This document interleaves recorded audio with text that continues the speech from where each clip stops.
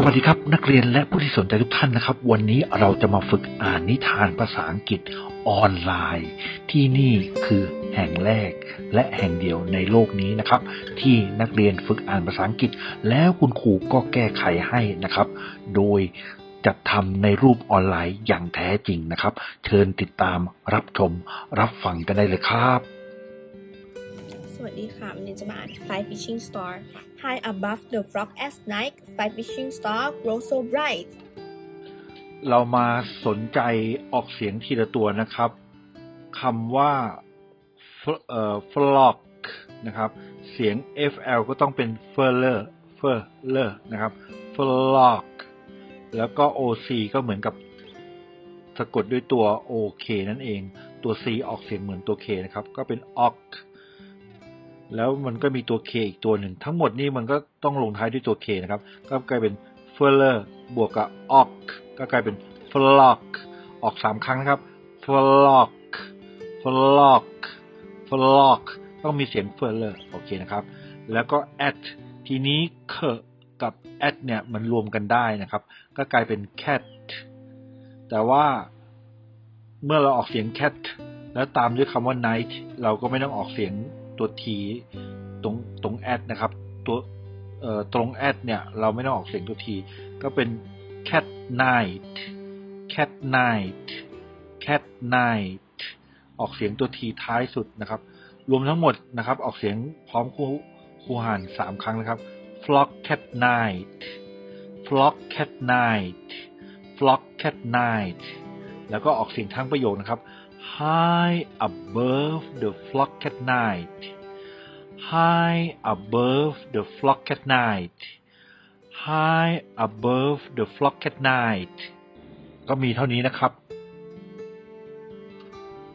ต่อมานะครับ เราก็มาดูทีละคำทีละคำเลยนะครับคำแรกนะครับ grow นะครับ ก็ออกเสียงแยกออกมาเป็นเสียงย่อยก็คือ เกอเกเลอนะครับ กับเสียง ow ก็ออกเสียงเป็นตัว o เฉยๆนะครับ รวมเป็นนะครับ เวลาออกเสียงเกอเลอร์ก็ต้องมีกอไก่ลอลิงคล้ายๆอย่างนั้นนะครับเกอโลเกโลเกโลออกเสียงสามครั้งตามคุณครูนะครับglow glow glow นะครับ จบไปแล้วนะครับคำว่า glow ต่อมานะครับ so so ไม่มีปัญหา แต่คำต่อจาก so ก็คือคำว่า bright นะครับ ออกเสียงเบอร์เลอร์เบอร์เลอร์มีตัวคล้ายๆรอเรือด้วยนะครับ แล้วก็ i นะครับ ส่วนตัว th เอ่อตัว gh นั้นไม่ออกเสียง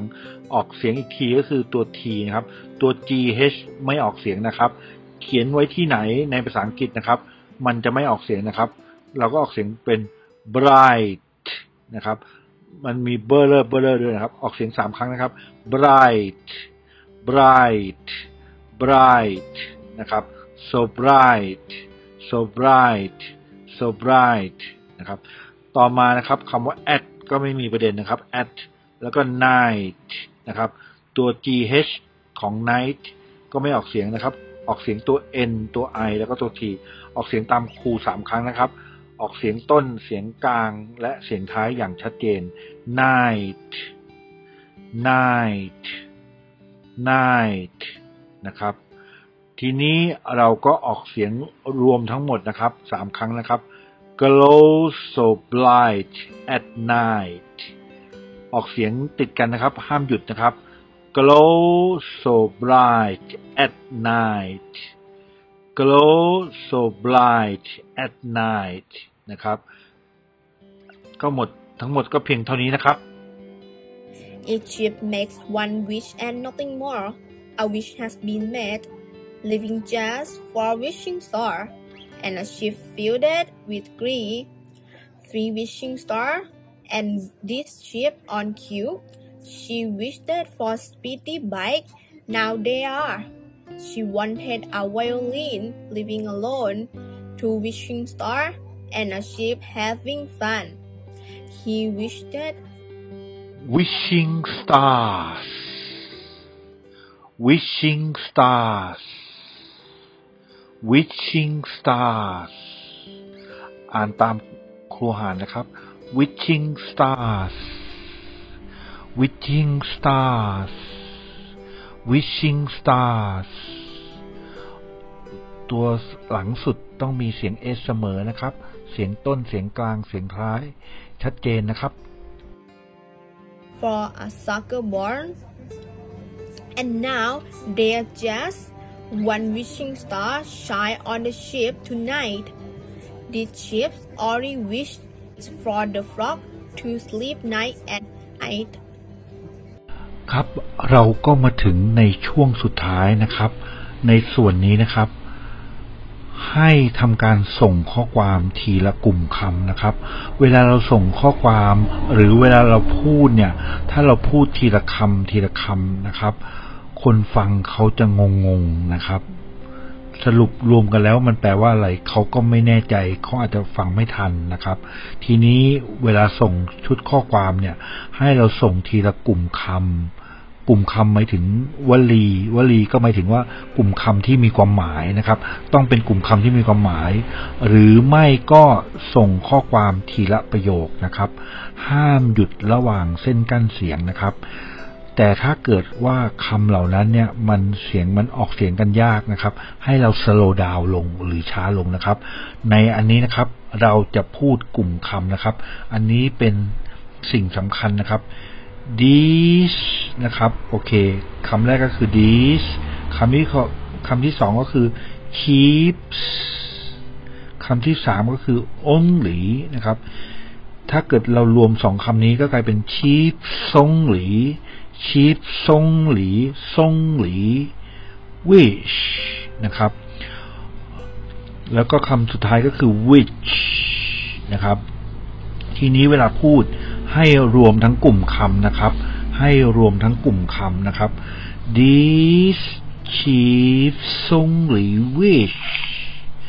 ห้ามหยุดระหว่างเส้นกั้นนะครับ เส้นกั้นก็คือเส้นกั้นทางซ้าย เราจะพูดจนไปถึงเส้นกั้นทางขวานะครับ ห้ามหยุดระหว่างคำนะครับ เพื่อเราจะส่งความหมายทีละกลุ่มคำคนฟังจะแปลได้แปลสารที่เราส่งให้เขาเนี่ยได้ง่าย ๆนะครับ these chiefs only wish นะครับพูดตามครูสามครั้งนะครับ ถ้าเกิดสามครั้งยังไม่พอ นักเรียนก็ไปฝึกเองนะครับ ไปฝึกเองพูดจนกว่าจะคล่อง มันจะสิบครั้งก็พูดไป ห้าสิบครั้งก็พูดไปร้อยครั้งก็พูดไป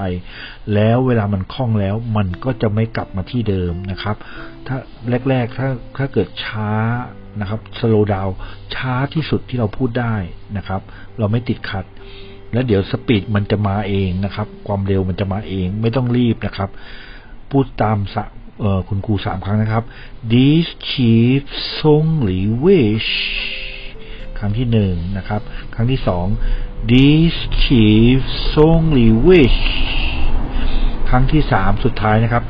these chiefs only wish นะครับ อันนี้ก็เสร็จในบรรทัดแรกนะครับ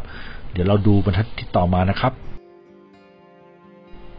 ในบรรทัดสุดท้ายนี้นะครับ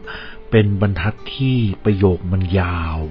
การพูดต่อเนื่องกันเนี่ย อาจจะลำบากนะครับ ดังนั้นเราสามารถแบ่งประโยคให้เป็นประโยคสั้นๆได้นะครับ ก็คือเราแบ่งเป็นกลุ่มคำกลุ่มแรกก็คือ is for the flock แล้วก็กลุ่มคำที่สองนะครับ to sleep nice and tight นะครับ เราแบ่งเป็นกลุ่มคำสองกลุ่มนะครับ เวลาแบ่งกลุ่มคำเนี่ย เราควรจะแบ่งกลุ่มคำที่มีความหมาย นะครับ นักเรียนอ่านบ่อยๆ นักเรียนดูบ่อยๆ นักเรียนจะรู้ว่ากลุ่มคำอันไหนควรแบ่งนะครับ แบ่งแล้วมันมีความหมาย ห้ามแบ่งแบบความหมายมันขัดๆเกินๆนะครับ แบ่งแล้วความหมายมันลงตัวอันนี้ถือว่าเป็นการแบ่งกลุ่มคำที่ดีนะครับ เพราะเราจะต้องส่งกลุ่มคำนี้ไปให้ผู้รับสารหรือผู้ฟังนะครับ โอเคนะครับ ฝึกตามครูสามครั้งนะครับ ในกลุ่มคำแรก กลุ่มคำ is for the flock นะครับ แต่ละคำมันก็ไม่น่ามีปัญหานะครับ is for the flock ครั้งที่หนึ่งครั้งที่สอง is for the flock ครั้งที่สาม is for the flock เราฝึกนะครับสามครั้ง แล้วก็ห้ามหยุดระหว่างประโยคนะครับ ส่วนอันที่สองนะครับ to ไม่มีปัญหา sleep โอเค nice nice เนี่ย ตัว ce มันออกเสียงเหมือนตัว h นะครับ ก็เป็น nice and nice and รวมกับคำว่า and ได้เลย nice and tight นะครับสามครั้งนะครับ to sleep nice and tight to sleep nice and tight to sleep nice and tight นะครับ ทั้งหมดนี้ก็เป็นการฝึกในครั้งที่สองนะครับสำหรับนักเรียนท่านนี้นะครับ พบกันได้ใหม่ในวิดีโอต่อๆไปนะครับ สวัสดีนะครับ นักเรียนทุกคน And now it's time to say goodbye. Hopefully, the lesson is helpful for your understanding. And do not forget to press like, share, and subscribe. See you in the next video. Thank you. Bye.